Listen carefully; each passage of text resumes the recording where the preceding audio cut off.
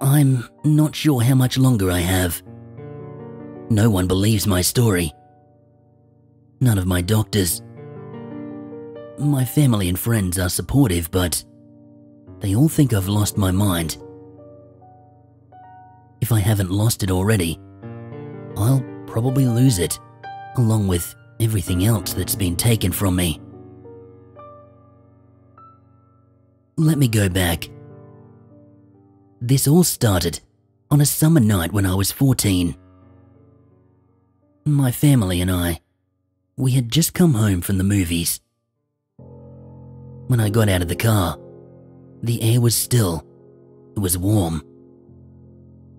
If it were not for the porch light, we would have been shrouded in the same blackness up in the sky. In spite of the darkness, the atmosphere seemed calm. Don't forget you have to take the garbage out, my brother said. Oh, come on. I'll do it in the morning, I replied. My dad gave me a look and said, They pick it up real early. Are you going to get up at five to take it out? I didn't say anything. Just take it out tonight, he said. Yeah, I had to take it out last week, my brother said. We've got a long driveway. It has the garage at one end and the street at the other. The driveway was dark, and my mind filled the yard with rabid skunks and possums that ate their own. I rushed as quietly as I could to the bins and I dragged them to the street. They made a terrible racket. I was almost to the street when I heard a clank. My brother, he had dropped three bags of trash on the porch. I stopped dragging the bins and I reluctantly walked back to collect them. The bags were heavier than usual, and I had to drag one of them more than carry it. Something was rolling on the ground behind me. A bag had torn, and there were jars and cans rolling about. I took the two bags that were still intact and I put them into the bins. Muttering bad words to myself, I sorted back to the rolling jars and cans. Some of them were sticky, others were wet. I cursed my brother as I crouched down to collect the trash and bundled it up into the torn bag, holding it like a swaddled baby. Our porch light started flickering, and it was then I noticed a strange glow. When I turned around, something was standing a few feet in front of me. It was somewhat humanoid in form, yet its form seemed loose somehow. This thing, whatever it was, appeared to be made of some sort of strange electricity. Its colours shifted all over yellow, orange, white. The pulse of its transformations, it was almost hypnotic. I stood there, my mouth agape, holding the swaddled trash. My mind was filled with such terror and such wonder that I seemed to be frozen in place. At least, that's what I thought at the time. It felt like this thing was examining me somehow. As I peered into its face, if you could call it that, my own face, it seemed to materialize onto it, like some bizarre transmission. The thing looked at me, with my own face, for what felt like an eternity. Suddenly, it disappeared. I don't remember it running off, beaming away, or being taken up in a ship. It was just gone. For a moment, I stood there. I could feel my mobility had returned, but I was not ready to use it.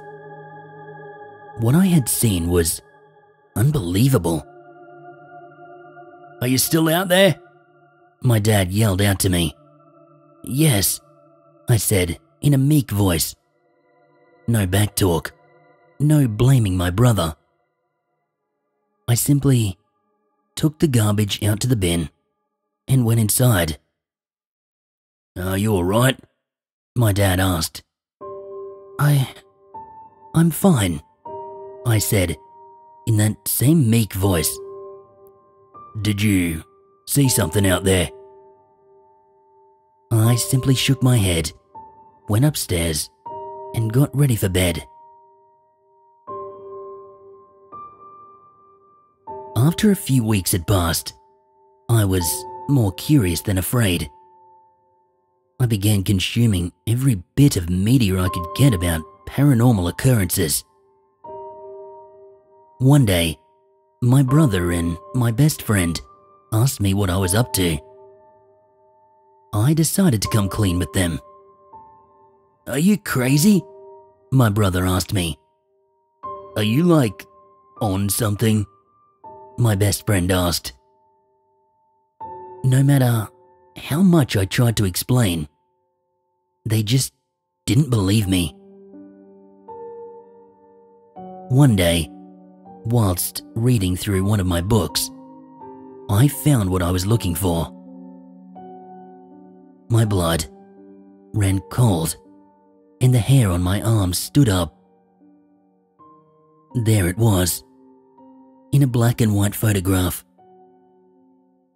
The lack of colour did not detract from my dread, but somehow, the black and white did not do the thing justice.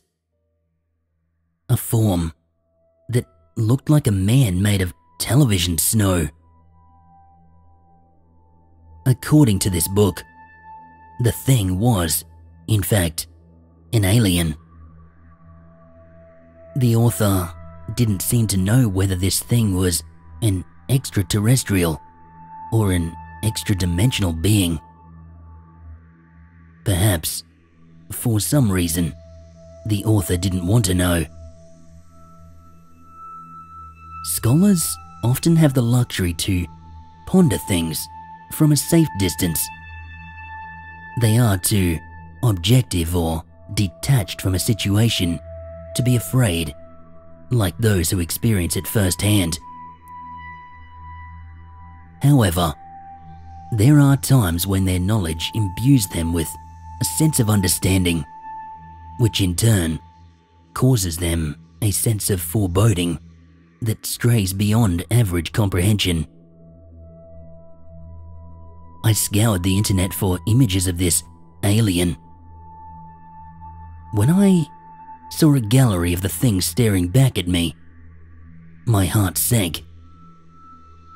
I wondered if it was a thing or things. With this realization, fear had taken the place of curiosity.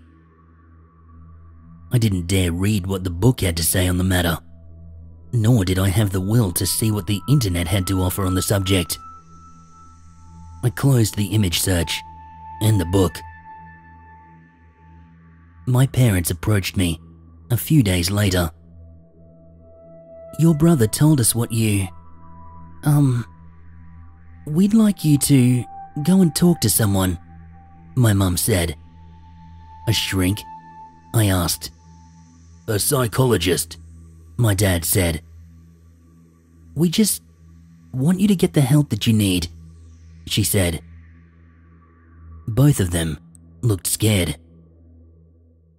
I'm blessed that I have people who care about me. They were so desperate to help me. So many people are not as lucky as I am in that regard.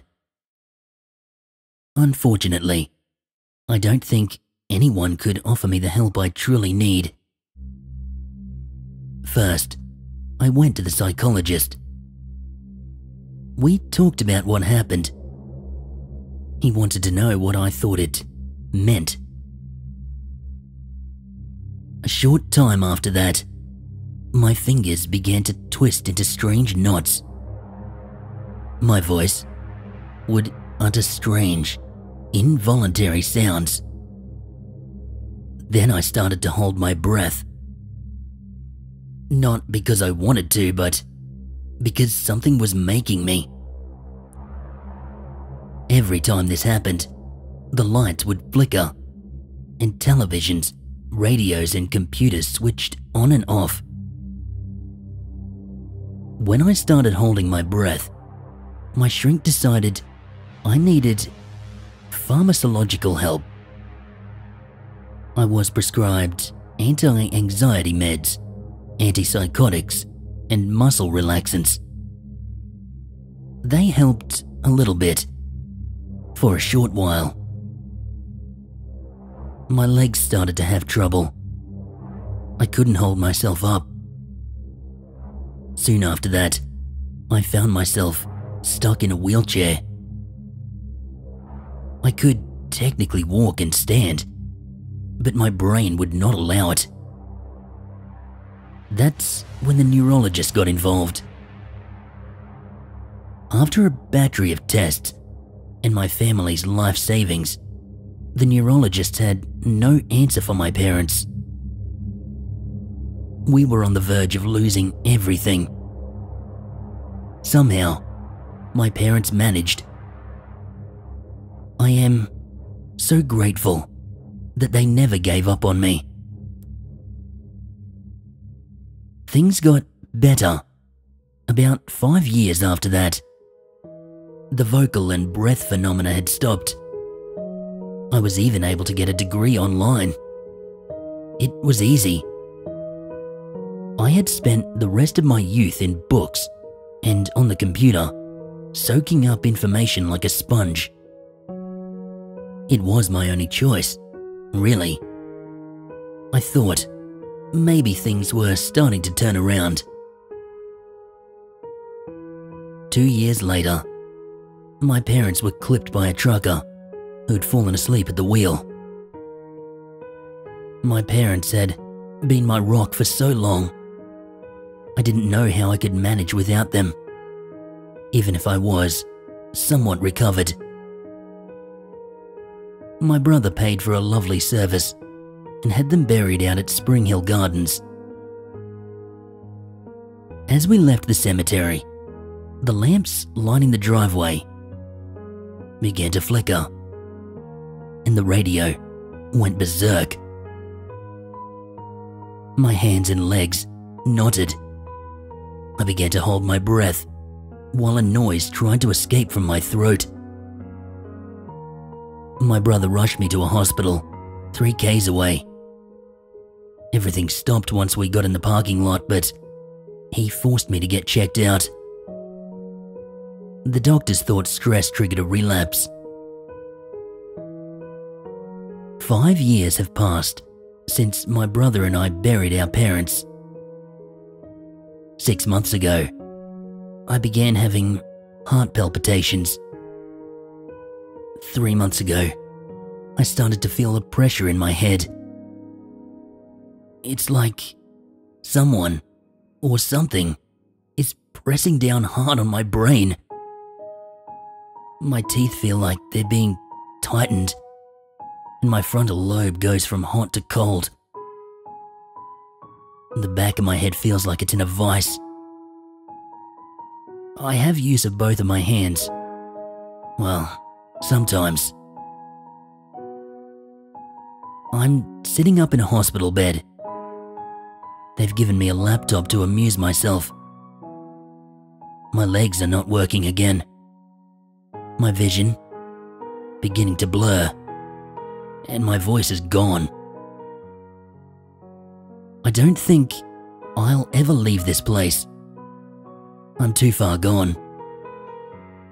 It's taken me two days just to type this out. My laptop is fading from bright to dark by itself. The radio is changing the stations on its own. Lights are flickering in my room. The hallway's gone dark. The machines that are monitoring me, they're turning off. But I don't think the hospital staff are aware. My brain is dough, being kneaded by harsh, unseen hands. My heart feels like it's going to burst out of my chest. I feel something dripping out of my ear. I can only assume it's blood. There's an orange glow in the hallway now. I don't know what's going to happen to me next, but with some luck, I can finish this before my laptop shuts down. Whatever happens, I hope my brother will be okay. For almost 15 years, I have been poked, prodded, scanned, examined. Doctors have said words like Tourette's, dystonia, lupus, and epilepsy. The psychologists and the nurses, they are as lost as the neurologists and psychiatrists. They have no idea what caused my affliction. But I do. It was the thing in the driveway.